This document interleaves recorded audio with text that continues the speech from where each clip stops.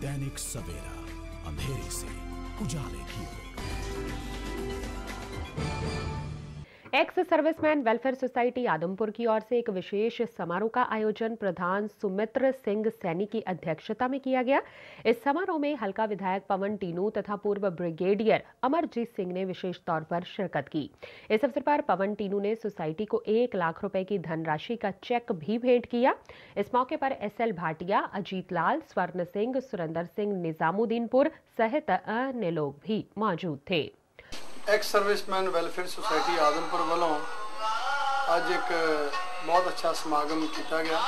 ਪੰਜਾਬ ਸਰਕਾਰ ਵੱਲੋਂ ਮੈਂ ਆਪਣੇ ਅਖਤਿਆਰੀ ਕੋਟੇ ਵਿੱਚੋਂ 1 ਲੱਖ ਦੀ ਗ੍ਰਾਂਟ ਜਿਹੜੀ ਆ, ਉਹ ਐਕਸ ਸਰਵਿਸਮੈਨ ਸੁਸਾਇਟੀ ਨੂੰ ਦਿੱਤੀ ਆ, ਕਿਉਂਕਿ ਇਹ ਬੜੇ ਪਬਲਿਕ ਦੇ ਕੰਮ ਕਰਦੇ ਆ। ਇਹਨਾਂ ਨੇ ਪਿਛਲੇ ਸਮੇਂ 'ਚ ਮੈਡੀਕਲ ਕੈਂਪ ਵੀ ਲਾਇਆ।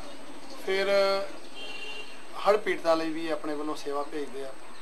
ਅਨੇਕਾਂ ਐਜੂਕੇਸ਼ਨ ਦੇ ਤੇ ਸਮਾਜਿਕ ਜਿਹੜੇ ਕੰਮ ਆ, ਉਹ ਸਾਡੀ ਇਹ ਸੁਸਾਇਟੀ ਕਰਦੀ ਹੈ ਮੈਂ ਸੁਸਾਇਟੀ ਦੇ ਸਾਰੇ ਹੀ ਐਕਸ ਸਰਵਿਸਮੈਨ ਸਹਿਬਾਨ ਦਾ, ਸਾਰੇ ਅਫਸਰ ਸਹਿਬਾਨ ਹੈ ਆਰਮੀ ਚੋਂ ਇਹਨਾਂ ਨੇ ਕੰਮ ਕੀਤਾ, ਸੇਵਾ ਕੀਤੀ ਹੈ ਦੇਸ਼ ਦੀ। ਤਾਂ ਇਹਨਾਂ ਤੋਂ ਅਸੀਂ ਪ੍ਰੇਰਣਾ ਲੈਂਦੇ ਹਾਂ ਕਿਉਂਕਿ ਦੇਖੋ ਇਹਨਾਂ ਨੇ ਆਪਣੀ ਸਾਰੀ ਜ਼ਿੰਦਗੀ ਜਿਹੜੀ ਆ ਉਹ ਲਾਈ ਆ, ਸਰਕਾਰ ਦੇ ਲੇਖੇ, ਦੇਸ਼ ਦੇ ਲੇਖੇ। 1 ਲੱਖ ਰੁਪਇਆ ਇਨਾਮ ਦਿੱਤਾ ਔਰ ਵੱਧ ਤੋਂ ਵੱਧ ਸੇਵਾ ਕਰਨ ਦਾ ਉਤਸ਼ਾਹ ਉਤਸ਼ਾਹ ਬਖਸ਼ਿਆ। ਅਸੀਂ ਬੜੇ ਧੰਨਵਾਦੀ ਹਾਂ ਜਿਨ੍ਹਾਂ ਨੇ ਇਹ ਸਾਡਾ ਹੌਸਲਾ ਵਧਾਈ ਕੀਤੀ ਅਤੇ ਸਾਨੂੰ ਹੋਰ ਸੇਵਾ ਕਰਨ ਦਾ ਮੌਕਾ ਬਖਸ਼ਿਆ।